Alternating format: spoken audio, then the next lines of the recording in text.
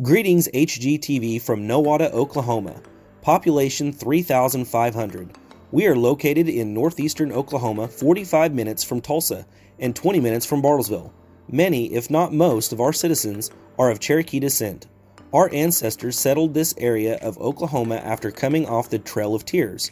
Nowata, yes, we do have water, comes from the Cherokee language meaning we welcome you. Our town was first called Nowata IT, or Indian Territory, before Oklahoma became a state. This mural on one of our downtown buildings depicts not only our Indian heritage, but the fact that our town was built on the oil industry. During the oil boom days, this once grand building was the gathering place for the community. Two days before it was scheduled to open, it burned to the ground. However, reconstruction began immediately. Radium baths were offered in the basement, and history tells us that many oil deals were struck in the lobby.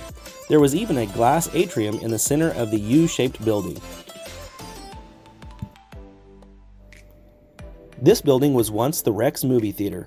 As noted, it dates back to the 1930s. It was very upscale for the times. The theater even has an iconic mural painted on the ceiling.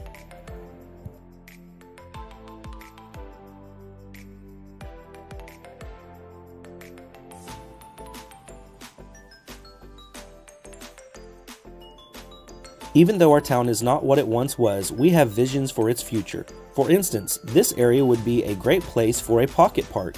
There are also opportunities for new businesses. Thank you HGTV for the opportunity to enter our small town in your Main Street makeover.